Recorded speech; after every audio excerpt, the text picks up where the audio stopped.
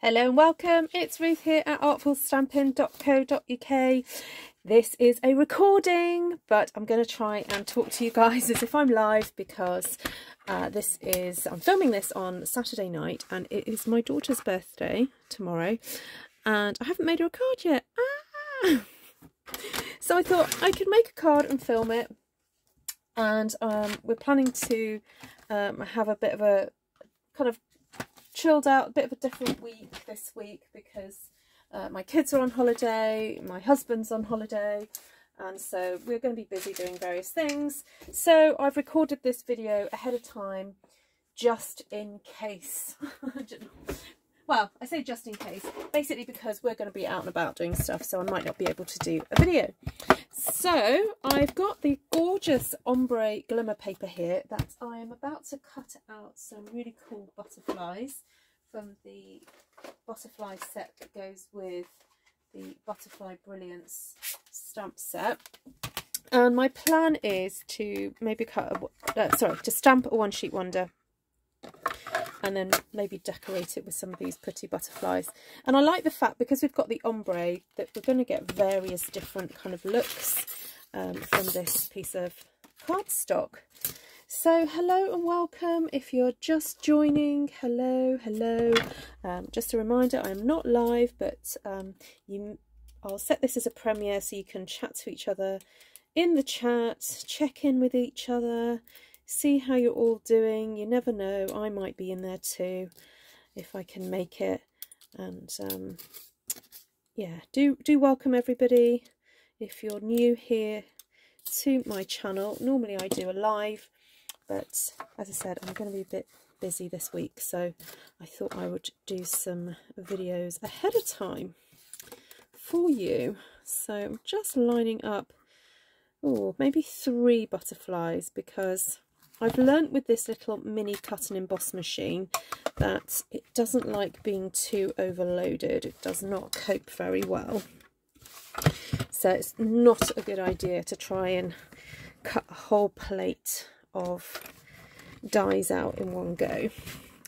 It does not like it. Now it is a little bit, it can be a little bit tough to run it through. Um, so you do need to be standing really to hold it. I shouldn't have put the grid paper down because I can feel it wobbling. But never mind, I've done it now. So I like to just kind of check that everything's kind of cut through.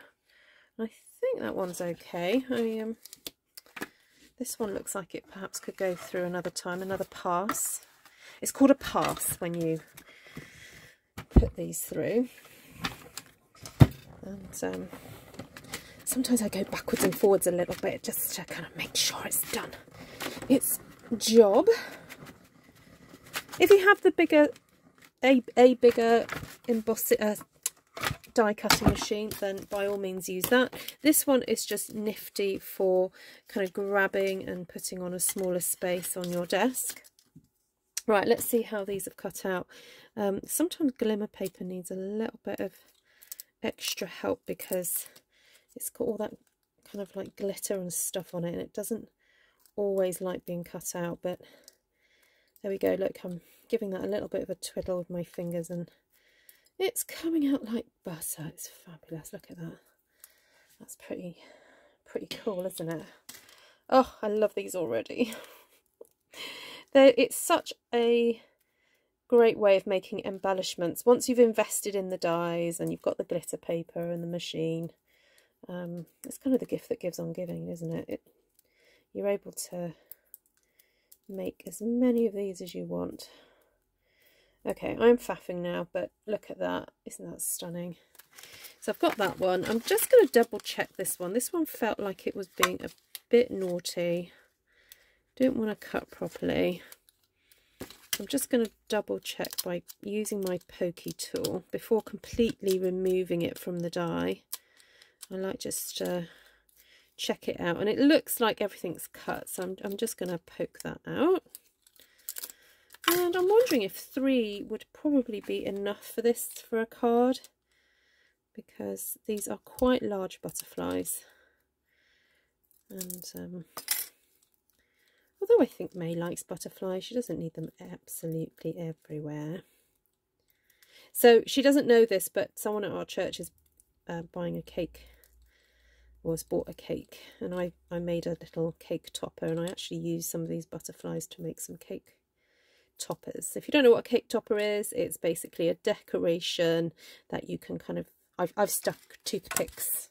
Um, I actually cut some butterflies out in gold and then I cut the solid out of ooh, Coastal Cabana and stuck the gold butterflies onto the Coastal Cabana, but when I did it, I used hot glue and I stuck a toothpick in between so that um, it can be placed onto on top of a cake. It's just a quick and easy way of decorating a shop bought cake um, to make it a bit more festive or celebratory. That's the word, not festive, because it's a birthday, not a not a celebration. Uh, sorry, not a, a festival. Although Maeve would probably enjoy a festival in her name, knowing her. Um, she'd, uh, yeah, probably enjoy it, it, it, organising something like that. But there we go. So anyway, I think I might just do this off screen because this is slightly boring. And I'll come back to you. And I'll tidy this up a bit. Pop this over somewhere else where it can be seen and not heard and in my way.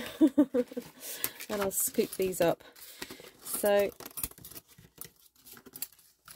these butterfly dies are just so beautifully detailed that they, they do make for a very easy pretty card.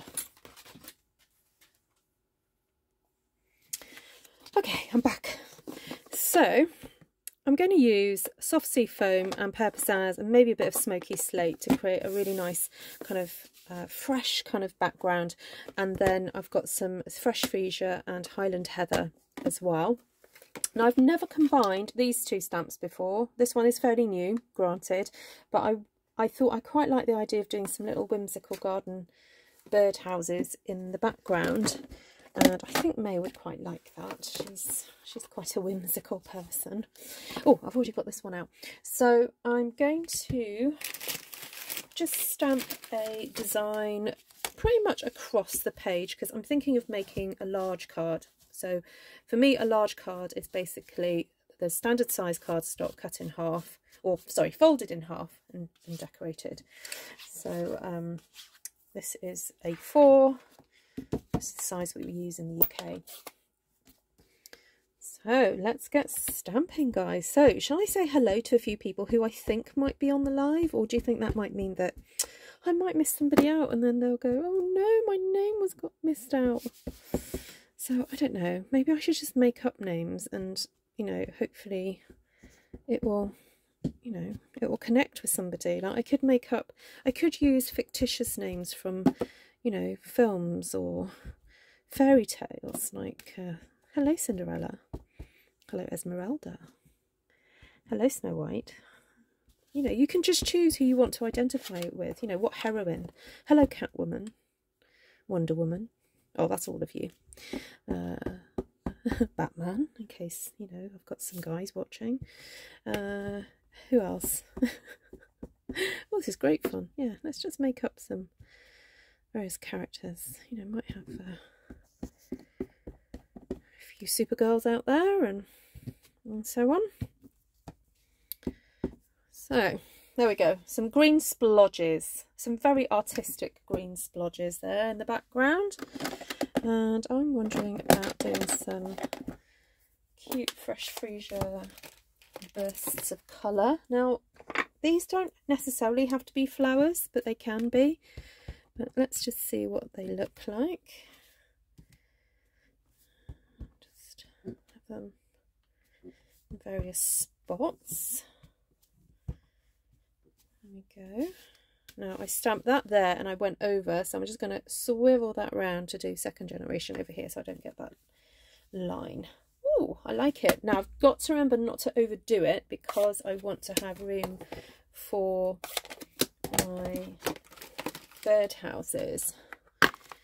So these are totally adorable little birdhouses. And I'm thinking just to save myself a bit of time,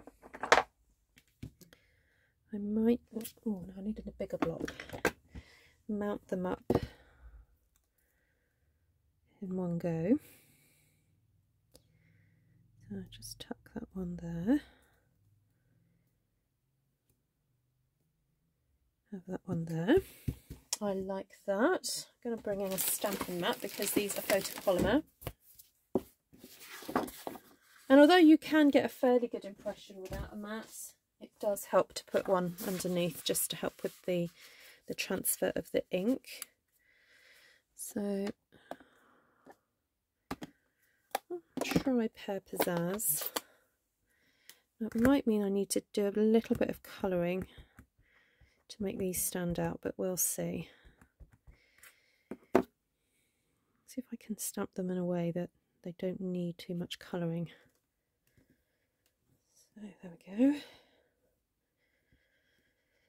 Oh, let's have a think. If there's any more fictitious characters I could welcome to my channel.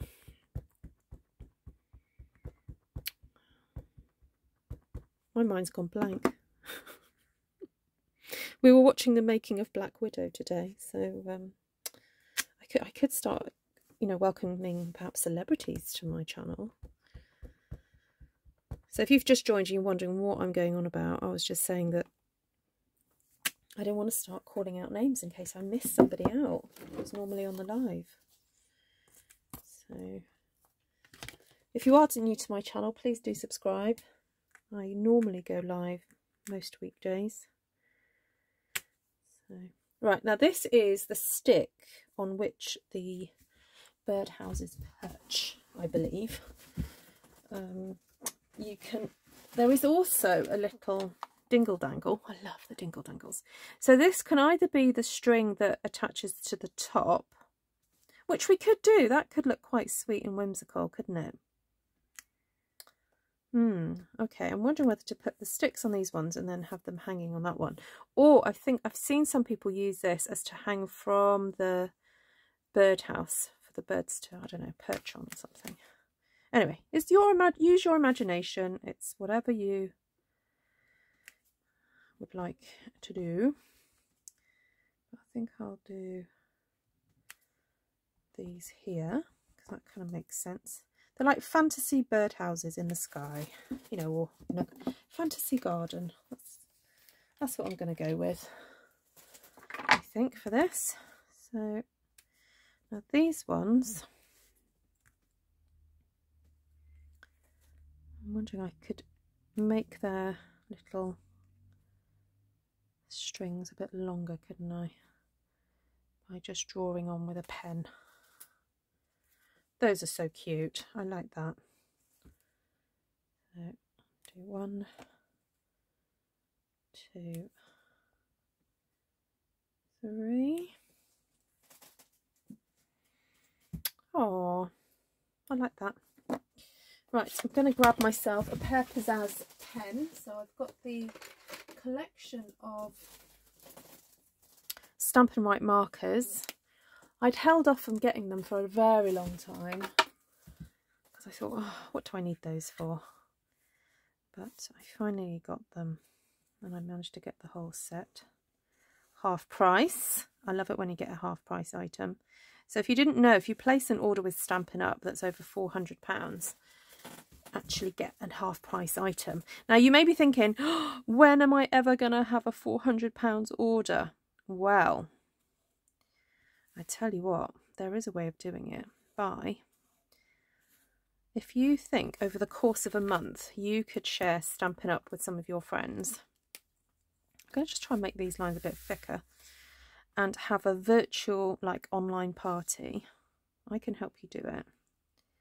And you get your friends to order, you know, you just need 10 friends to order £40 worth of product maybe you could be one of those people, you order a little bit yourself. Well, a £400 order would earn you, um, I think, about £50 in free product and a half price item. Did you know that? So if you're interested in doing that, if you're thinking, I love Stampin' Up products, but I'd like to earn some freebies, then get in touch because um, I could send, set up an online Facebook event for you and we could try and get there for you. Right, so not perfect, but there we go. That'll be fine. I wonder if to just to make them look a bit sort of not so perfect, I'm just going to just draw a couple of lines here and there just to make it look like, I don't know, I don't know what I'm making it look like, but just sort of not make it look so perfect. So I feel that this would be coloured in under here as well. Now we could colour these in with a bit of soft sea foam to sort of make them stand out a little bit. Maybe not everywhere. Just um, certain areas maybe. So this is the soft sea foam pen. So I'm not really kind of thinking about, you know, shading and light and dark and all that. I'm just kind of picking a spot and going with it. Because as I said, it's a fantasy kind of page. It's, you know, whatever it's meant to be. Something pretty. So look, even here, I'm going to choose a different spot to do. I'm just going to do there. Make it very easy on myself. Not do anything too complicated. After all, it is late at night and I should have done this earlier, really.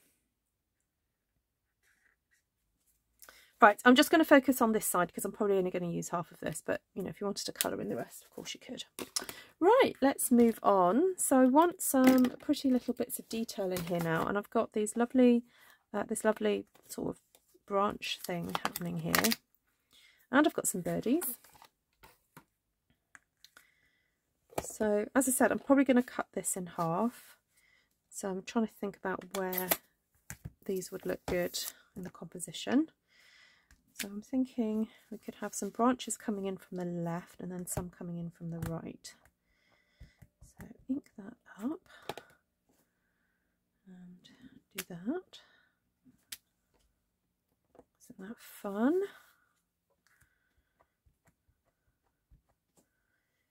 Do it from this side. I'm going to rotate it and stamp again. And, oh, I just thought we could have some coming down from here.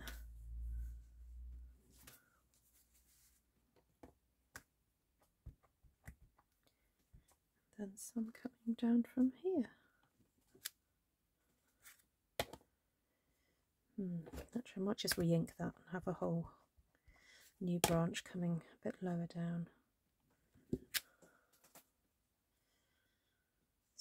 Splendiferous. Oh, and then maybe we could have some branches up there just to kind of soften that top area.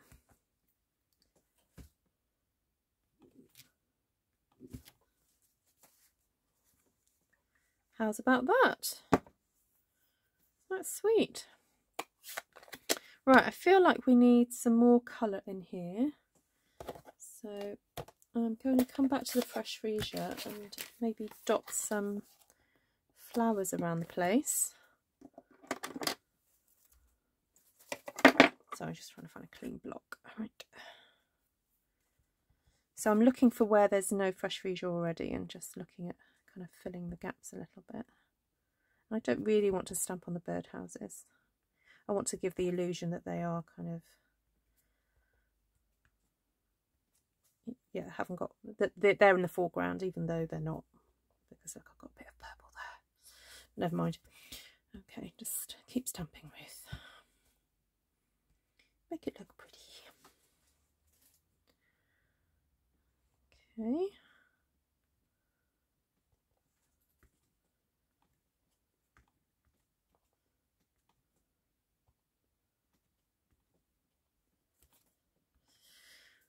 Right, and then, of course, we can't go without a little bit of dotage, which I do have already have out. And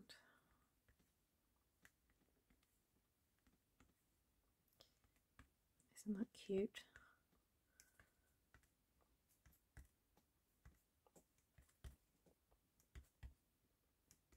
I think she'll like this card. She's really, she likes sort of like blossoms and things and so and trees. So I think she will like it. Of course, by the time you see this video, she will have already received it. So I'll be able to let you know what she thinks. Right.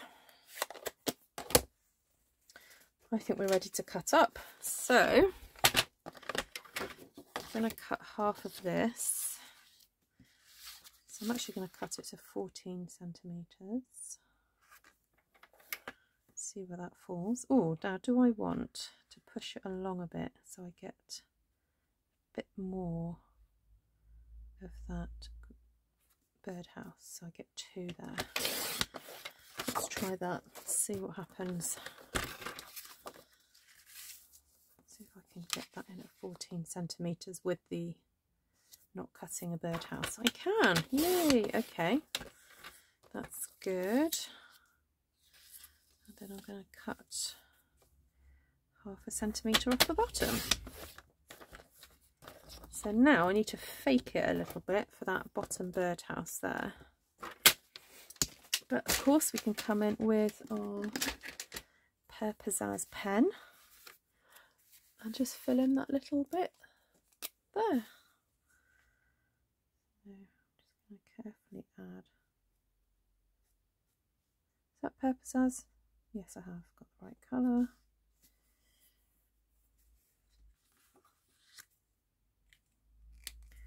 And I think I might just colour that in with soft sea foam just to make it look a bit more solid because otherwise it just looks like it's a see-through pole.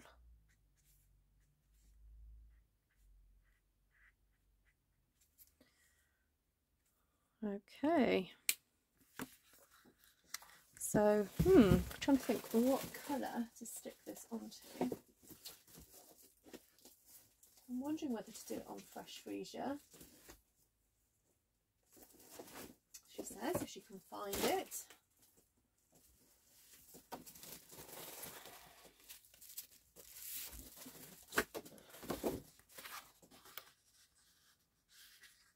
Yeah, that's fine. It's high enough of a contrast. So I'm now going to score this. For those of you who use metric, I'm going to do this at 14 and a half centimetres.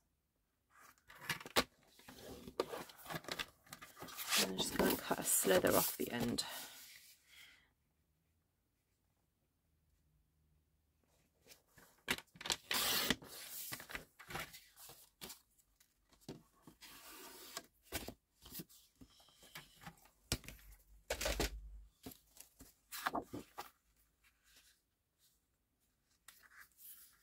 Now, I could put a happy birthday sentiment on it.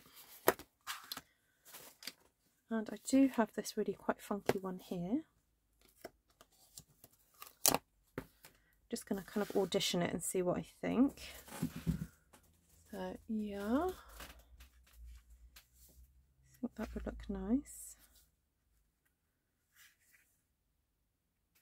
And then I'm going to bring on my little butterflies which were on my desk and now have flown away as they do.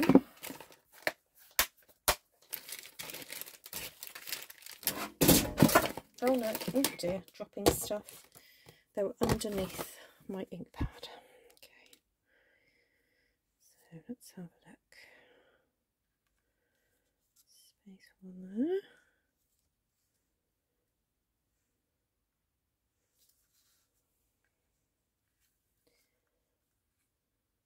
Yeah, I think that could work. And I think Pear Pizzazz is probably strong enough for stamping the butterfly. Sorry, not butterfly, the sentiment.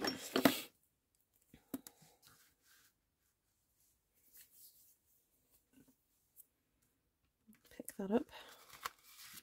Now, when I'm stamping a sentiment directly to a card, um, what I tend to do is make sure that the stamp the words are parallel to the top of the block because if you just go by the sticker you are asking for trouble because it could have been that you put the sticker on wrong So the way, by doing it this way, it means that if you put the block parallel to the edge of your card or the the lines on the grid paper, it's going to be correct. So I just tested it out to make sure and it was. So because I know that it's correct, I just, I'm eyeballing this line here with my card and I know it'll be fine. Just about. Maybe it's a half a millimetre out, but that's not too bad. I can live with that. So let's get some glue, get this baby stuck together. So thank you all for joining me, you wonderful people, all you Dr. Dolittles and um, Mary Poppinses out there that have joined me for this uh, premiere. If you're watching this on the replay, sorry you didn't make the premiere, but thank you for watching anyway. And do leave a comment if you've enjoyed watching and unfortunately I haven't got an option for you to go which card did you prefer this time because I've just made one as sometimes that does happen so there we go. So this is just a bit of an alternative kind of fantasy. Cute birthday card. Do you notice my grid paper's upside down also? Oh dear, never mind. Right, this is a very little bit flimsy this butterfly now because um, I, I accidentally ripped a kind of a layer off some of it. It's all right, it's holding together, but the sooner I get it stuck down, the better. Oh, these this one's still got some little pieces that need to come out.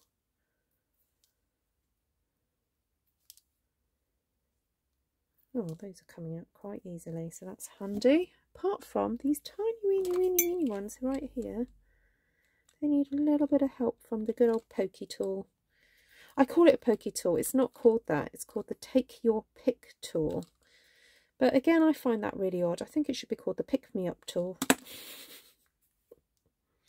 But that would have a whole load of other different connotations, wouldn't it? Oh, come off. That's it. Don't need you on my finger. Right. And there. Yeah, I think. Looks like he's landed on there. I mean, completely wrong ratio of sizes, but never mind. It is meant to be a fantasy card. So, there we go. Oh, and I'm wondering about a little touch of Wink of Stella. Oh, sorry for nudging um, just to um, give my little birdhouses a little bit of a glitter treat. A little squeeze. There we go. It's nicely winked up. And then might even do a little bit of splattering across there. And of course we could also do a bit of splattering since I've got my marker pens out. Do a bit of dottage. There we go.